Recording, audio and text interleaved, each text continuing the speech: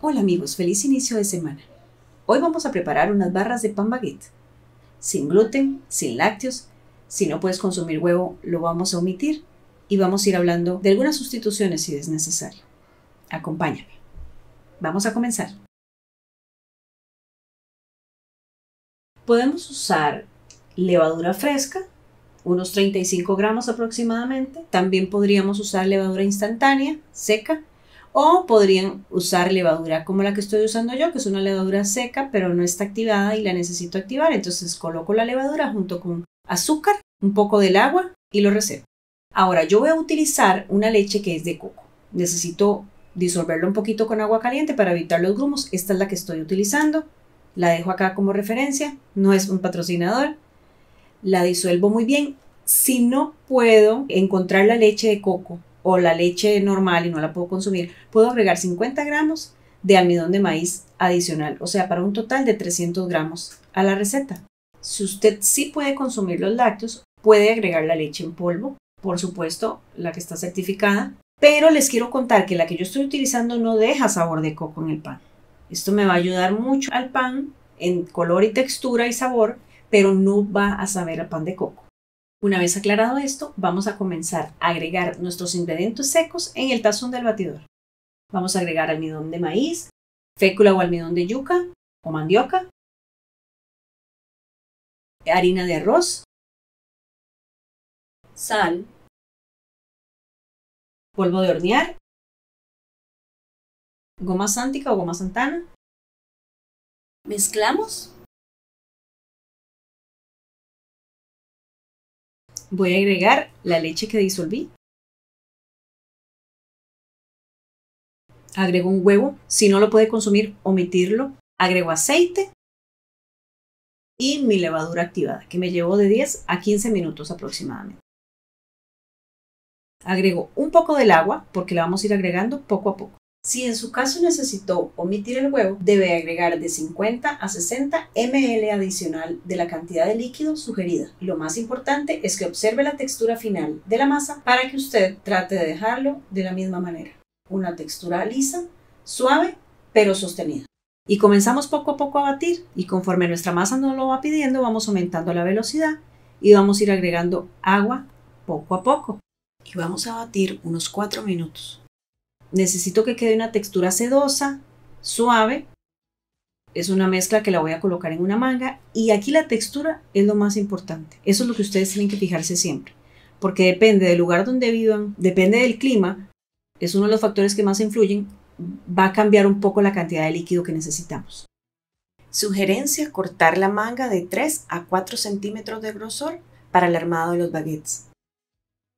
Prefiero engrasar y enharinar un poquito mi bandeja donde voy a hacer el pan. Para formar nuestras barras trato de ejercer una presión pareja. Si me canso, paro un momentito y continúo. Es prudente dejar de dos a tres dedos al inicio y al final cuando estamos formándolas.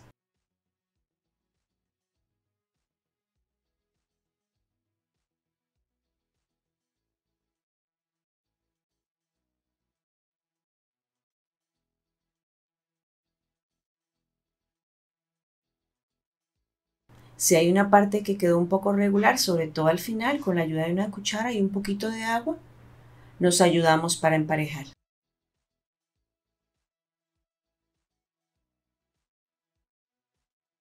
Con un cuchillo bien filoso hacemos unos cortes a nuestras barras, que son característicos de ellas, y vamos a dejarle dar entre 40 minutos, una hora aproximadamente. Y bueno, si usted no tiene el molde, no se preocupe. Vamos a hacer nuestro propio molde. Eso es una gran idea que me enseñó la profesora y la quiero compartir con ustedes también.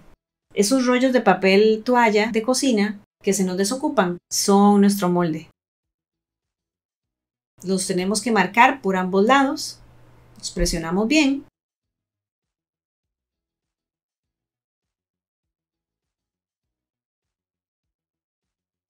Y luego los cubrimos con papel aluminio.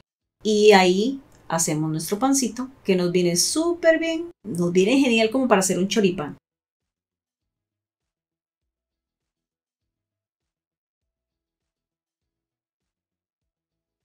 Y bueno, este ya leudó, así que va para el horno. A 200 grados centígrados. Para crear el vapor en este pan y la corteza crujiente, yo lo voy a rociar con agua. Usted también puede poner una bandeja con agua, pero en mi caso los voy a rociar, me parece más fácil.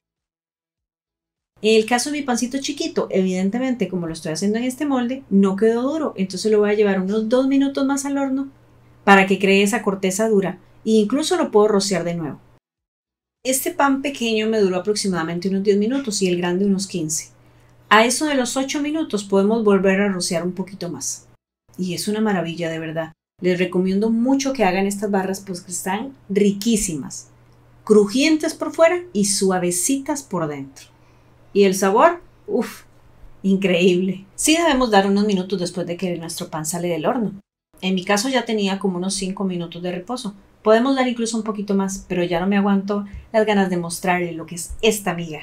Déjame en la cajita de los comentarios qué te pareció la receta y espero que ya estés preparando los ingredientes para que no te pierdas ese sabor. Si te gustó la receta, regálame un like, comparte con tus familiares amigos y si aún no te suscribes, por favor, dale el botoncito y activa la campanita para que cada semana te lleguen las notificaciones y puedas ver una receta nueva. Gracias por acompañarme y los espero próxima semana.